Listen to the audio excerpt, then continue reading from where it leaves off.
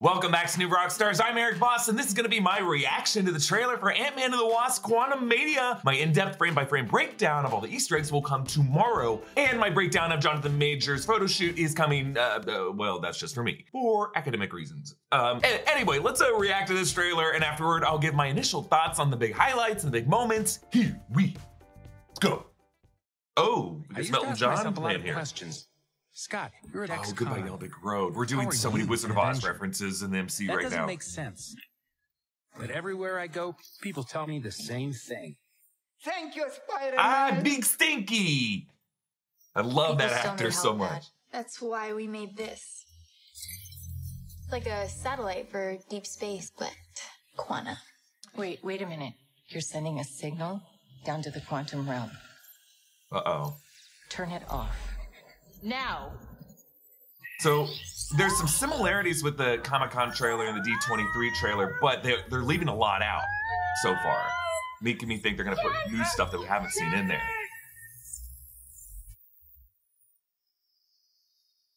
Oh, interesting. Like church uh, uh, uh, chord version of this. Where are we? Oh wow.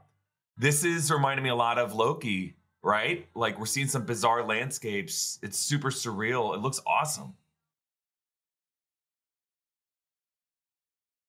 The secret universe beneath ours. Looks like a brandy snap. What are you so afraid of? There's something I never told you. This place. this is all new. It He's got an army. Oh, this looks amazing. Oh, wow. The characters look so cool. I can get you home.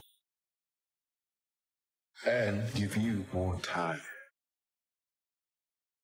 What is that? If you help me.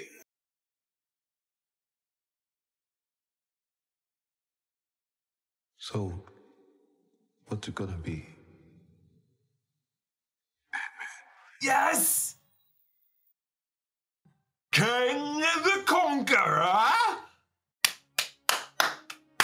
Oh, this movie's going to rock!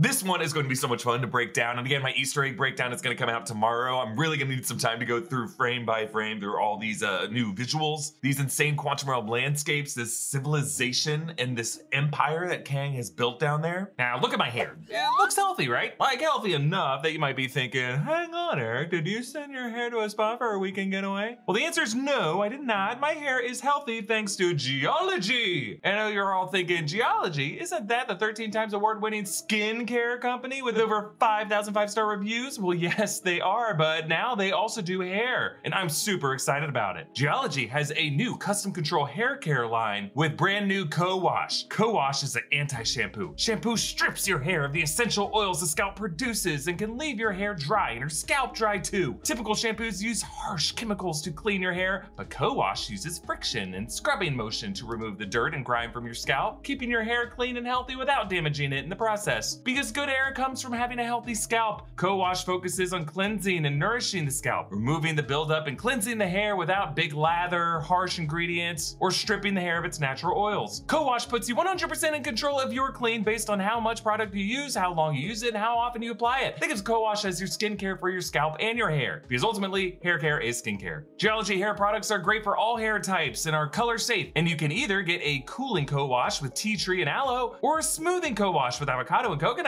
I'm a tea tree and aloe kind of guy. Why? Because you can never be too cool. To celebrate the launch of their new product, they are hooking you up with this unbelievable special offer. Click the link below to get 70% off a skincare trial. But not only that, use the second link to take an additional 15% off the new co-wash, which is already 15% off for the pre-order. You're not gonna wanna miss this offer. And to be clear, this is Kang the Conqueror, who's an alternate timeline variant of He Who Remains, who we saw in Loki. They are different characters, so that's why you can already tell Jonathan Majors is doing a completely different performance for this version of Kang than what we saw in Loki. That variant of Kang was uh, more of like a Shakespearean Puck trickster, one who liked to jump on furniture and giggle. This Kang is king. He's a conqueror. He's smug, he's detached, he's bitter. Now, the question is, what does he need Scott Lang's help with? Now, the D23 footage went into a bit more detail here. He says that he needs help finding something that was taken from him. He also told Scott, You're an Avenger, haven't I killed you before? Which tells us that this Kang, in other timelines, has completely murdered all the Avengers. This guy is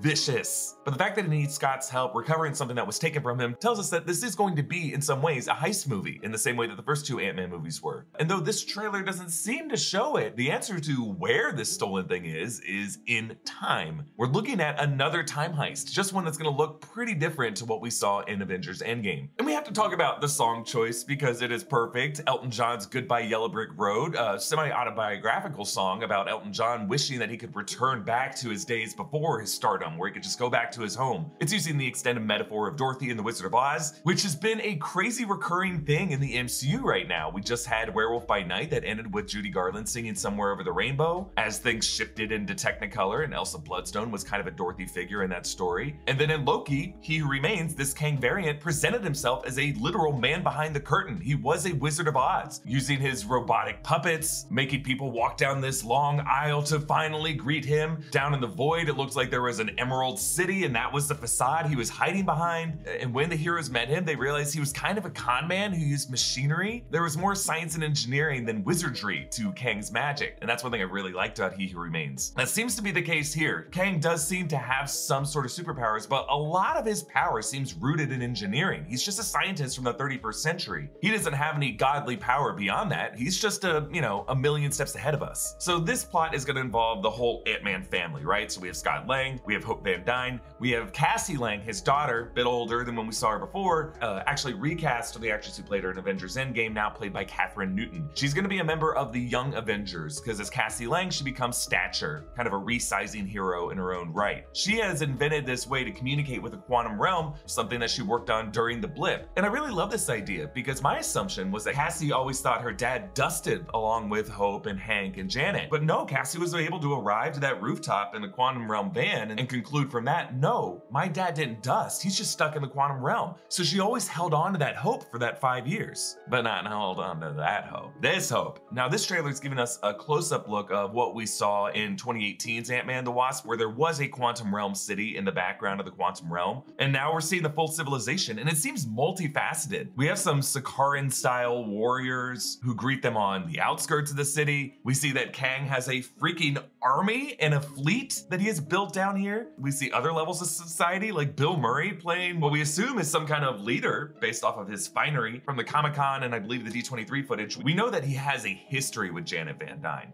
They used to know each other. Now, something not shown in this trailer, but it was shown both at the Comic Con and the D23 trailers, so it's no secret. But some version of MODOK is going to be in this movie. We saw a mechanized robot face. He's not in this trailer, I think probably because they still want to figure out exactly what the look will be with the VFX and the post production. And maybe it's just really hard to depict this character and let YouTube sleuths live with it forever and ever so we can decode everything about this character and reveal big parts of the plot, which I think honestly is a good way to go. Everyone will go into this movie knowing that MODOK will be in it, but we don't know exactly what form MODOK will take and where exactly he's coming from. So again, Kang is conscripting Scott Lang to steal something for him from the past or from the future, somewhere in time. And I'm guessing that the way this time heist is gonna look is gonna be a bit more surreal and comic booky, which I really love. Like we get this one really trippy shot of Scott Lang looking up at a larger, I think, version of himself or a different Ant-Man. And this Ant-Man unravels, leaving the helmet to fall onto him. Unravels the way that Thanos with the Reality Stone unravels Mantis, turns into this ribbony structure. It's also not unlike the way Scarlet Witch unraveled Reed Richards. And there's another character sitting at the cafe who has like a semi-unraveled head. There may be some kind of like thematic thing going on. Like that is the way the sacred timeline is all coiled together, right? It's a it's a tightly wound coil of endless loops that are all woven together. And what Sylvie did when she stabbed Kang was basically break open and unravel all that time. So that time kind of spread out in like a, a lightning bolt configuration, a spider web. This could just be what it looks like when you use Kang's technology and you prune something or erase something from time. It, it like literally unravels into ribbons. All the timeline elements that kept it bound together are no longer have that gravity. Another thing I want to point out about Kang's technology that I can't wait to dig deeper into, it all seems to be powered by this kind of like glowing sphere. At about 125, he places that into like a, a central console with crystals on either side. And a similar sphere seems to occupy not just every ship, every fighter craft that's in the fleet, but literally every single soldier. Like remember, Kang is an engineer who likes to build robots and stuff. Most of the TVA was androids and AI that was running that clockwork. And this could be an army that he built in order to conquer these civilizations down in the quantum realm. Okay, I love this trailer so much. I can't wait to go back through it frame by frame to find all the stuff that we missed. Uh, my Easter egg breakdown is coming to the channel tomorrow. You can follow me on TikTok, Instagram, and Twitter at EA.